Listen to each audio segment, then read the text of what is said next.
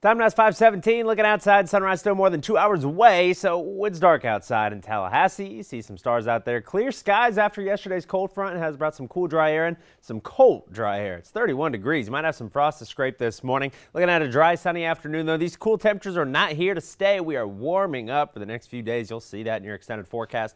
Winds mostly calm, a lot of zeros on this map. And what does that mean? Well, aside from the quiet weather, that means that you have better potential for frost where you see those zeros. You need air close to saturation temperatures down near freezing and calm winds. Pretty much have all of those in place. Even if you're at 34, 35, still could have a little bit of ice on the windshield as those cooler surfaces, again, drop down lower than the air temperature. Here in Tallahassee, no problems, 31. Tighten Doppler radar.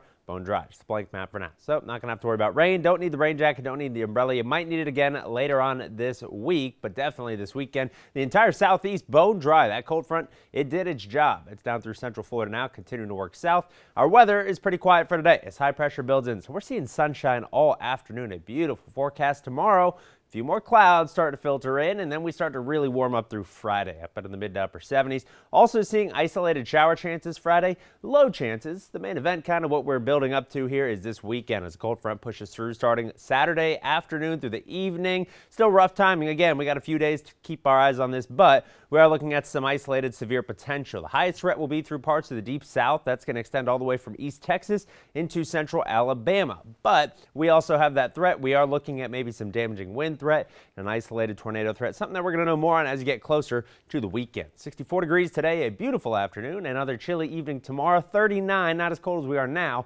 Look at those temperatures after tomorrow morning way warmer. Highs going to be in the mid to upper 70s through the weekend of next week, and those lows only in the 60s. A very mild stretch through mid January.